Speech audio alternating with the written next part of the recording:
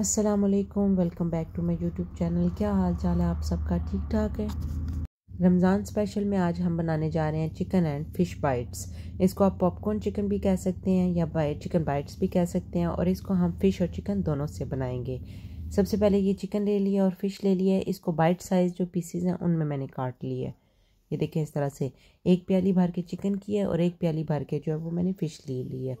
अब अगर कोई फ़िश नहीं भी खाता तो इसी चक्कर में वो फ़िश भी खा लेगा और पता भी नहीं चलेगा। इसके साथ ही मैंने एक एग ले लिया, इसको अच्छी तरह से फेंट लेंगे, उसके बाद इसमें जाएँगे जो स्पाइसेस और मसाला जात। स्पाइसेस में जो जाएँगे वो है एक चम्मच भर के नमक की डाली है मैंने, उसके बाद आधी चम्मच जो वो हल्दी की डाली है, फिर कुटी हुई लाल मिर्च डाली है, वो भी half teaspoon ginger powder डाला है मैंने, वो भी हाफ़ टी स्पून है, सफ़ेद मिर्च डाली है एक टी स्पून और चाइनीज़ सॉल्ट मैंने डाला है वो भी हाफ़ टी स्पून आप चाहे तो चिकन पाउडर भी इसके अंदर ऐड कर सकती हैं या चिकन क्यूब भी लेकिन मैंने इसमें चाइनीज़ सॉल्ट ऐड किया है।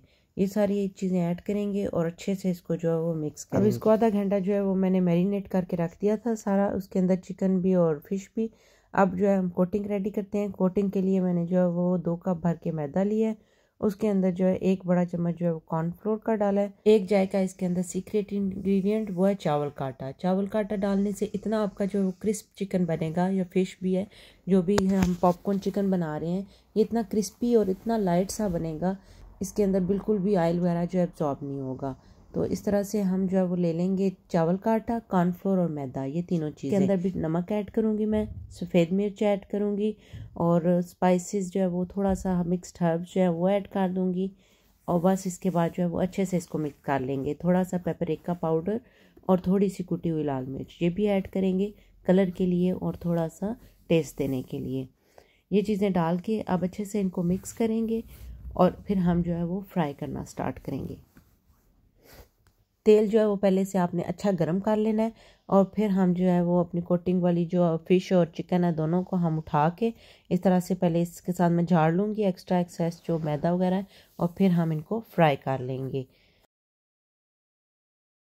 चिकन और फ़िश दोनों ही बहुत टेंडर होते हैं तो बहुत ही जल्दी से ये बन जाएगी। जल्दी में बन जाएगी। आप हाई हीट पे रख के इसको जल्दी से फ्राई करें और दो से तीन मिनट और एक साइड पे लगेगा और दो से तीन मिनट ही दूसरी साइड पे।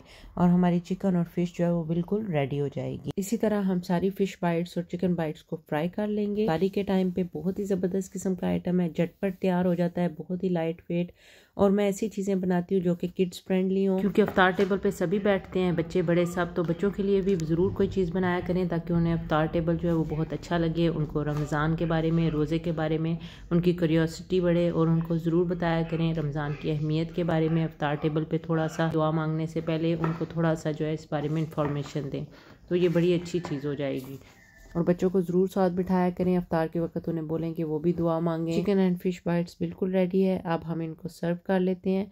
आप इनको चिली सॉस के साथ केचप के साथ जिस तरह भी आप जो है वो कंफर्टेबल हैं आप उसको इसके साथ सर्व कर सकते हैं। आप इसको ज़रूर ट्राई कीजिएगा। मुझे अपना फीडबैक ज़रूर दीजिएगा। और इसी तरह जो है वो मेरी रेसिपीज़ को फॉलो करते रहें। तक आपसे इजाज़त चाहती हूँ। अपना ख्याल रखिएगा दुआओं में याद रखिएगा। अल्लाह हाफिज़।